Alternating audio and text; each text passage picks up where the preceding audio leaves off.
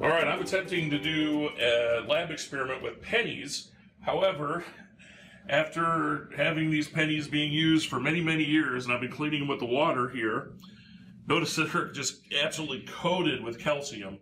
This is from the water. Uh, you would consider this hard water. So here's some pennies that um, are more clean than others.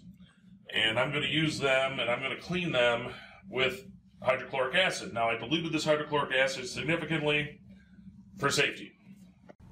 Here I have diluted hydrochloric acid, and then I just have an empty beaker. So what I'm going to do is I'm going to pour some of this diluted hydrochloric acid. Now one of the important things is, is when you dilute hydrochloric acid, make sure you put the water in the beaker first, then the acid. That's what I did. Safety, first, second, and third. Okay, here are the pennies. You can see they're very, very I mean, I got calcium all over my hands. All right, come on over. Ready? Okay, I'm gonna put these in the acid.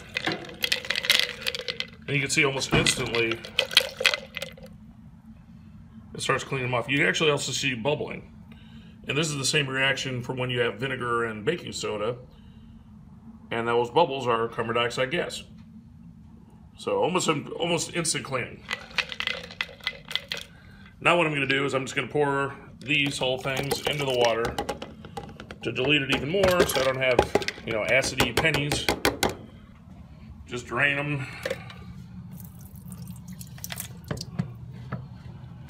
And I should end up with nice clean pennies. And this is a special acid sink, so it is safe to pour acid down the sink for you scoring at home. And there you go. Not too bad, huh? Catch you next time. See ya.